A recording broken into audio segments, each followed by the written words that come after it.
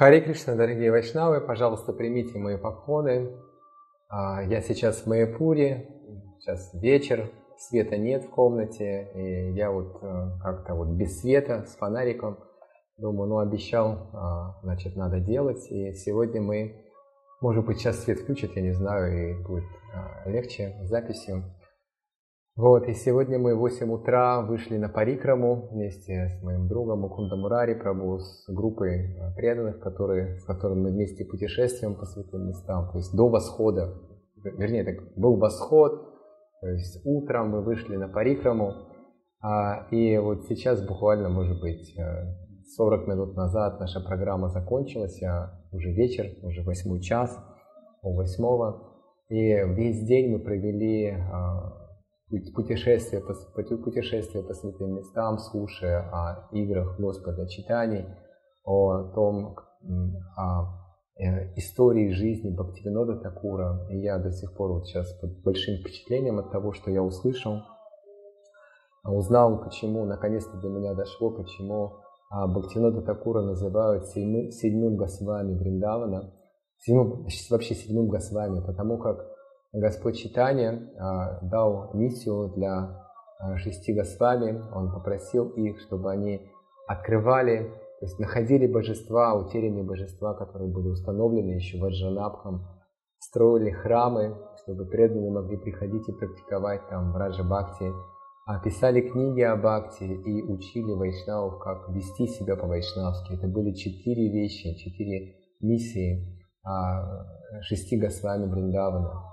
И Бхактивинод Такур все то же самое сделал в одиночку и сделал это в Навадвипе. Именно а, вот все наше сознание Кришны, вот то, что мы вообще узнали о сознании Кришны, что у нас есть Шила Прабхупада, соответственно, есть Бхактисиданта Сарасвати, все началось с Бхактивинода Такура, который возродил вайшнавизм и а, широко распространил а, это сознание Кришны, вернул былое, былую силу движение Господа, Господа читания.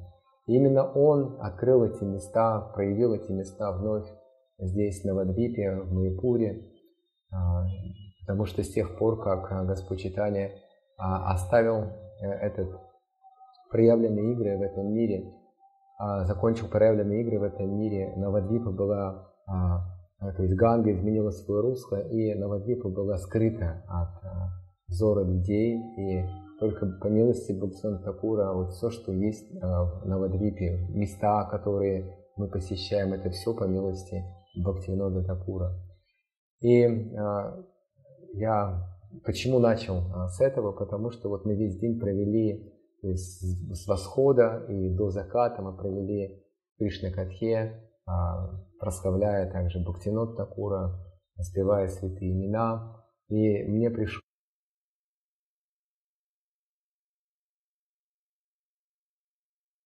2, 3, 17. Это очень известный текст, один из моих любимых стихов. И он сразу пришел мне на ум, вот когда мы провели этот день, а, вот таким, а, так скажем, по-вайшнавски качественным образом. И этот стих 2, 3, 17 звучит таким образом.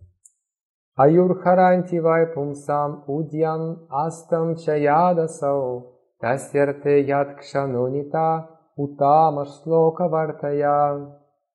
А Шила Прабхупада переводит этот текст таким образом. С каждым восходом и закатом солнца сокращается жизнь любого из нас. За исключением тех, кто все свое время посвящает обсуждению повествования о всеблагой личности Бога. Еще раз. Аюр харанти вайпумсам. Прям как вот очень просто переводится. Аюр это значит продолжительность жизни, Харанти означает сокращается, а вайпумсам, несомненно, у каждого человека. У каждого человека сокращается жизнь, несомненно.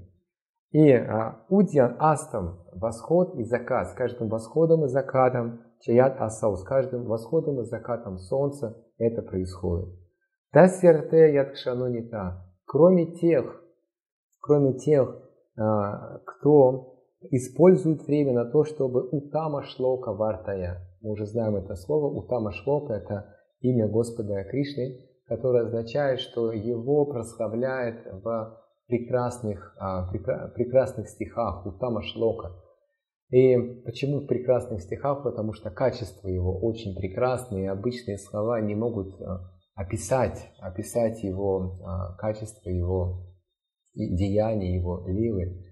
И на самом деле не только качество самого Кришны достойны прославления, также качество и поведение его преданных достойны прославления, потому что преданные в, своем, в своей жизни проявляют, э, что вот это качество, что значит любить, бескорыстно любить. И сегодня я слышал одну историю, Кунда Мурари Прабhu нам рассказывал ее из жизни Бхактивинод Такура, когда он уже а, жил в отречении. Вот для меня было открытием, что оказывается последние 20 лет своей жизни Бхактивинод Такур, он ушел на пенсию, он уже не мог просто продолжать а, работу, а, хотя он был очень-очень успешным, он был на расхват, и в принципе любой нормальный материалист, он бы пользовался этим положением, чтобы наслаждаться, чтобы почивать на лаврах, то есть это ну, успех просто. Но Бхактивинод Такур, он уже не мог тратить это время, а, время и силы свои на то, чтобы исполнять эти обязанности, уже все, он говорит, отпустите меня, пожалуйста, отпустите. И вот последние 20 лет он прожил как а, в отречении, и, соответственно, а, соответственно, последние, последние годы он уже жил как Бабаджи, но 20 лет он был в отречении. И однажды к нему в гости приехали два молодых калькутских джентльмена, англичанина, они узнали об Актион Такуре, о его успешной карьере, он был супермен того времени. И им было интересно, как этот человек, такой успешный и такой влиятельный, оставил все это для того, чтобы уединиться и погрузиться там в какую-то свою э, медитацию, в какое-то свое воспевание. И они приехали к Бхактиван Такуру сюда, в Навадвипу. Э, Бхактиван Такур жил на другом берегу Джаганги, его дом прям на этом берегу. С этого места как раз он не видел этот храм, храм, который сейчас строят Вайшнавы, Искон. И они приехали на поезде по дороге, в пути они прочитали его книгу о, о, святом имени, где прославлялось могущество святого имени. Было интересно в этом разобраться. И когда они приехали в дом Бхактинода Такура, он радушно встретил и хотя он был таким, знаете, решительным, а, таким, ну, так не суровым, но строгим человеком на работе, но а дома а, он был очень радушный, гостеприимный и всячески хотел служить тем людям, которые приходили к нему в гости. И он встретил их, усадил их и спросил, пожалуйста, чем я могу вам служить? Они объяснили, что ну, нам интересно узнать, чем вы здесь живете. Вот мы прочитали вашу книгу о святом имени, мы хотим узнать о, о Шринам Прабу, о, о святом имени. И когда Бхактиван Такур просто услышал, что у них есть интерес у этих а, людей, которые не следуют никаким принципам, э, вайшнавским и ну, как бы, ну, просто обычные материалисты, но у них был а, интерес к святому имени. Одна эта мысль привела Бхактиван Такура в такой экстаз, что у него слезы просто не то, что хлынули из глаз, а брызнули из глаз. То есть это когда экстатические чувства а, овладевают преданным, то есть вот эти вот признаки, по которым можно понять сильная такое вот интенсивность эмоций. И один из них это то, что слезы не льются, а вот как фонтаном брызгают. Но у него волосы на теле стали, стали дыбом по всему телу, он стал падать в ноги этим а, материалистам и поклоняться им, и говорит, вы интересуетесь святым именем, вы, вели, вы очень удачливы, я удачлив, что вы пришли в мой дом и осветили мой дом. Англичане просто в шоке, они не понимали, как себя вести и как на это реагировать. Потому что Бхактивинод Такур в этот момент он проявлял все признаки Махабхагавата, человека, который а, а, не видеть недостатков, да, один из признаков, Шиларупа Госвами описывает в Нектаре наставлений, что нет склонности критиковать других, он вообще не видит недостатки, он просто видит, эти люди интересуются святым именем. И когда ты слышишь об этом, когда ты э, э, читаешь об этом, когда ты соприкасаешься с, этим, с этой преданностью, Шила Прабхупада говорит об Бхактивиноде Такуре, что у него были две, два особых качества. На самом деле эти качества есть у каждого великого Вайшнава, и именно а, степень а, продвинутости сознания Кришны, успеха в сознании Кришны можно измерять этими двумя качествами. Это первое, это искренность. Искренность именно в чистом преданном служении. То есть человеку действительно интересна а, чистая бхакти. И Бхактиван Такур, даже будучи еще, ну, как бы не проявился он как преданный, но вот эта вот жажда, вот этот интерес познания Бога, он у него был с самого, самого детства. То есть он был в поиске, и вот этот поиск заставлял его, он не успокаивался, он искал, как будто он постоянно искал, кому отдать свое сердце, кому предаться. И он был ну, в духовных поисках, он там длинная история, я сейчас не буду во все это погружаться, но до тех пор, пока он не познакомился с Господом Читания, с учением Господа Читания, с Читания Чаритамриты, он не мог успокоиться. И только прочитав Читание Чаритамриту первый раз, вера появилась в нем, и второй раз, когда он ее прочитал, то он, стал а, Гауди Вайшнавом.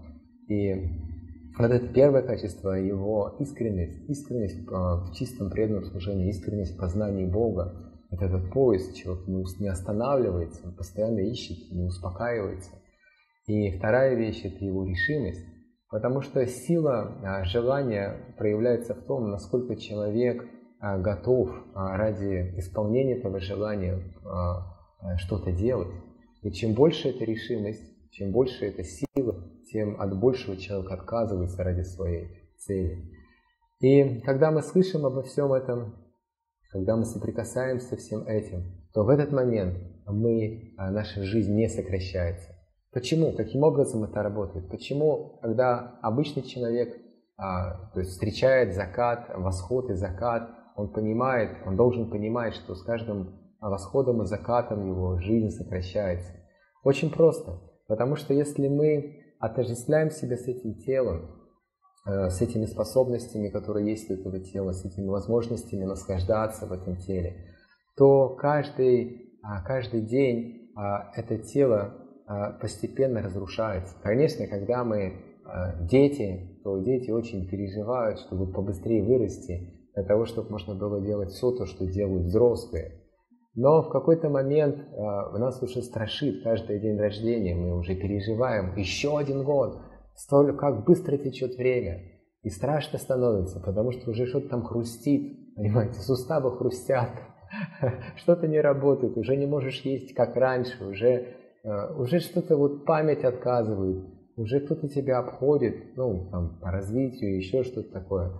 И ты понимаешь, что скоро а, вот этот вот а, мой, так скажем, а, а, датчик, с которым я соприкасаюсь с этим миром, он а, просто развалится и страшно становится. То есть вот это вот а, страх того, что счастье закончится, он начинает постепенно-постепенно овладевать человеком.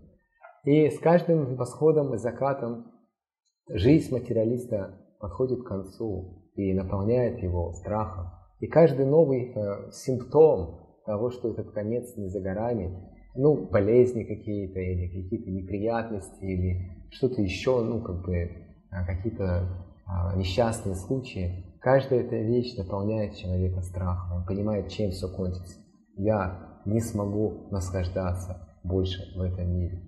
Но когда э, преданные, э, почему э, у них жизнь не сокращается? Потому что преданные не живут этим телом. Так скажем, что они не, как сказать, не отождествляют свое счастье, свою жизнь с этим телом. Их жизнь – это духовное развитие. Смотрите, какая интересная вещь. То есть жизнь материалиста – это жизнь тела, Жизнь преданного – это жизнь духовная, то есть его взаимоотношения с Кришной. И каждый раз, когда человек, каждое мгновение, когда человек слушает о Кришне или слушает о преданности Кришне, каждый раз его привязанность к Кришне а, увеличивается.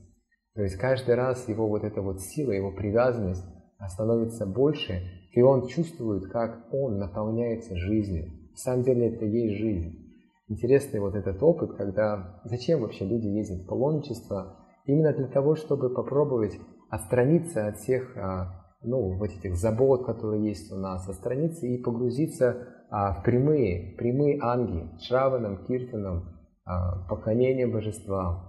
И интересные вещи начинают происходить, особенно в святом месте. Тут это на самом деле легче. Я вот по себе знаю, что даже еще даже не доехав до Майпура, просто приземлившись, приземлившись в Дели, выйдя в аэропорт, мы там ждали несколько часов пересадки, и мы не спали там всю ночь, а, но я чувствовал, как мне легче стало повторять мантру. То есть мы еще не доехали до Святой мы были еще, хотя, ну, Дели это тоже же э, бывший, как это, Индрапрастха, это там, где жили а, пандавы, тоже можно сказать, какое-то место связано с преданными, уже стало легче. Что говорить про Майпур? Тут а на самом деле легко практиковать сознание Кришны. Поэтому вот этот опыт погружения, он сразу же а, как бы оживляет духовную жизнь, и а, человек начинает а, понимать, что его отношения с Кришной становятся ближе. Он реально чувствовать начинает, что Бог рядом, вот, вот я чувствую здесь вот запах Кришны, я Э, еще не вижу его, еще не понимаю, но я уже ощущаю, где-то он рядом со всем. Это реальность, это правда. И преданность – это правда. И преданные э, Господь читания, вот в этом месте жил Господь вот здесь жили его преданные, здесь они общались, здесь они пели киртан, здесь у них была первая намахата. Представляете? И вот это жизнь. То есть с каждым днем человек все больше и больше приближается к совершенству. То есть время а, не, не убирает, не убивает его, а время приближает его к бессмертию. И вот этот текст 2.3.17 а, как раз и говорит о, том, что является главной целью жизни человека. Это, конечно, необычно для материального ума, потому как материальный ум привык, что цель жизни заключается в том, чтобы ну, как можно больше сделать вещей комфортных для тела. И так настроен, вот, так настроен ум, мы когда приехали в Майяпур сюда, а, ну вот так спросить, а что вы тут делаете? Ребята, зачем вы сюда приезжаете? Что вы здесь производите? Когда а, первые ученики Шила Прабхупады, они не могли понять, зачем Шила Прабхупада хотел купить место в Майяпуре. И Шила Прабхупада несколько лет потратил, никак не получалось. Три года он потратил на то, чтобы это место, ну, купить это место. И в конце концов Тамал Кришна Махарадж по приказу Шилы Прабхупады, Шилы Прабхупада сказал, пока не купишь, просто не приезжай. По, по приказу Шилы Прабхупады, э, все-таки покупая здесь небольшой участок земли, Шила Прабхупада в великом счастье просто слышит эту новость. И один из учеников Шилы Прабхупады, он специально приехал сюда, в Майпур, посмотреть, что за собственность приобрел Искон, смотрит на это поле здесь, где просто рис, рис растет, и комары бесчисленных тучах просто роятся эти комары. Он приезжает к Шили Прабхупаде и говорит, Шила Прабхупада, а зачем мы это купили, что мы там будем делать? Шила Прабхупада ну, наругал его. Он сказал, ты думаешь, что если там нет магазинов, там нет кинотеатров, там нечем заняться? На самом деле мы взяли это место для того, чтобы приезжать туда и петь Хари Кришна. Совсем другой подход, вы понимаете, да? То есть обычный подход, что цель жизни создавать комфорт для тела, ради этого все живут. А тут, о чем говорят э, э, мудрецы на Мишаране, это как раз их диалог, это они разговаривают с Сутой Госвами. Они говорят, что человеческая жизнь для того, чтобы развивать свою привязанность к Кришне, вот это важно, важная такой смена парадигмы. Вот. И как раз в паломничестве это очень ярко можно почувствовать, это можно а, увидеть на своей, в своей жизни, что я оживаю, что-то а вечное просыпается во мне. И Шила Прабхупада в комментарии к этому стиху говорит нам о том, что а, а, вот эта важная, важная вещь, что нужно слушать,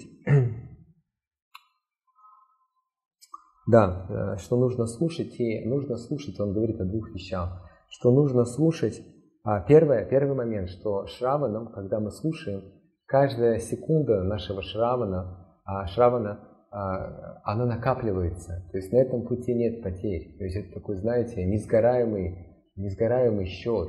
То есть каждая, в материальном мире каждая секунда, она уничтожает э, тело, соответственно, приближает к смерти и наполняет человека страхом. Но а, когда человек слушает Кришна Катху, Уттама Шлока, Вартая, то есть прославление Господа или его преданных, то каждая секунда записывается на его вечный счет. И вторая вещь, о которой Шила Прабхупада говорит насчет шравана, то есть это как бы два, так сказать, вдохновляющих момента, чтобы мы продолжали слушать. Говорит, первое, это накапливается, приближает нас к вечной цели, а второе, что необходимо не просто слушать, но также обдумывать услышанное. Вот э, мы когда э, сидели вместе, э, ну, вот, говорили об Бхактинот Такуре, о разных местах в Майпуре, в какой-то момент мы задали вопрос, это было в йога-питхе как раз, да, мы спросили у наших слушателей, а что вы запомнили из того, о чем мы говорили? Потому что часто так бывает, что преданные слушают, и они а, чувствуют, что да, хорошая лекция, вот здорово вообще. Но если спросить так прямо, а что же там было а, хорошего, что вы поняли для себя, и тут возникают какие-то нюансы. И мы стали спрашивать, и а, преданные на самом деле много запомнили, много поняли. И Шила Прабхупада в комментарии к этому стиху говорит, что нужно прославлять. И прославлять а означает также размышлять над тем, что мы слушаем и говорим. Это важная вещь. Итак, этот текст говорит о цели жизни. Цель жизни а, обычного человека, восхождение для тела и ума, и каждый восход и закат солнца приводит человека к разрушению. Поэтому это печальная вещь, что каждый день мы приближаемся к смерти. К смерти. Тогда как тот, кто прославляет Кришну и а, бхакти, и чистых преданных, каждый день приближает его к совершенству. Шила Прабхупада в комментарии к этому стиху говорит, что даже болезнь и старость а у обычных людей это просто беспокойство и страх вызывает, но у преданных болезнь и старость приводит только к тому, что он еще больше сосредотачивается на Кришне еще больше внимания уделяет этой практике. И еще одна вещь я хотел сказать в связи с этим, с этим стихом, это то, что есть разные лекции. И это надо понимать, э, потому что иногда преданные, иногда преданные э, э, сбиваются с толку, приезжает проповедник и начинает говорить, наша цель жизни это думать о Кришне, предаться ему полностью, как бы занять все свое время тем, чтобы повторять святые имена. Вот, ну как раз это текст об этом, что вот, вот она жизнь какая. И преданные начинают, ой, вот это да, я так не могу, а, вот у меня не получается, и сразу вопрос, а если мне не получается, если меня там то, если у меня все. И вот поймите, что два вида есть, а, ну их, наверное, больше этих видов лекций, но вот есть таких два, это то, что а на одних лекциях нам говорят о цели, для того, чтобы утвердить, ради чего вообще Гаудио Вайшнавы живут, вот что для них очень ценно и важно. И это обязательно должно быть, потому что если мы не знаем цель, то тогда это просто приведет к тому, что мы никогда этого не достигнем, никогда мы привлечемся чем-то по дороге, как э, ну, обычно люди, приходя в духовную организацию, их интересуют все те же самые вещи, ну, какой-то комфорт для тела, и их они Бога воспринимают как того, кто может помочь им как-то удовлетворить свои материальные потребности. В основном так, такой, такая причина. И поэтому, когда, а, если не говорить о высшей цели, ради чего, да, то есть люди возьмут вот то, что вот быстро достижимо, понятно, э, и успокоятся. Почему так популярны религии, в которых а, вот, а, об успехе говорят, успех очень легко воспринимается. У тебя есть хорошие отношения с друзьями, вот наша община, мы друг друга, о друг друге заботимся. А вот если у тебя есть э, хорошая работа, у тебя все хорошо в семье, ты, ты достиг успеха. Вот в этом и есть как бы совершенство жизни, понимаешь? И человеку все понятно, все понятно, я хороший человек, я с Богом, у меня успех. Вот он, вот реально могу это пощупать. И скорее, скорее всего человек на этом остановится. Он не будет еще чего-то хотеть. Поэтому так важно утвердить, да, и не просто на словах утвердить, а проповедник, носитель этого сознания Кришны должен своим поведением утверждать, как важно полюбить Кришну, как личность, бескорыстно. Но вторая категория лекций, вот теперь вторая категория лекций, это лекция о том, как достичь этой цели. Потому что утвердить цель, окей, мы поняли, согласны с этим, я хочу идти туда. Но вторая вещь, это то, что а надо объяснить человеку, как с того уровня, на котором я нахожусь, а можно идти к этой цели, какие инструменты мне нужно для этого э, использовать. И опять же, э, из жизни Бхактивинода Такура мы видим, что а, он не был ленивым человеком, неудачником, который не знал, как прокормить себя и свою семью, и говорил о каких-то отреченных вещах. Нет, он показал пример, он показал пример как раз вот такого совершенного садаки, а, вот его жизнь можно так рассматривать, как он встретился с преданным, как у него появилась вера, да, как он стал выполнять свои обязанности. В сознании Кришны очень хорошо он это делал, выполнял свою работу хорошо, он заботился о своей семье, воспитал 14 детей. Я не знаю, у кого есть такого по 14 детей воспитать. Из них один Махабхагавата, а, луч Вишну, Бхактисиданта Сарасвати. И поэтому, а, когда вы слышите лекции, на которых говорят об, этой, об этой цели, это важные лекции, это важно понимать. Но не нужно думать, что мне сейчас сразу же там нужно оказаться. Нам нужно мечтать об этих вещах. Но чтобы к этим вещам подойти, нужно слушать вторые лекции. Вторая категория лекций говорит нам о пути, о том, что как нам, тем, кто еще а, не очистился от материальных привязанностей, отождествляет себя еще с телом, как нам с этого уровня достичь этого, этой возвышенной цели.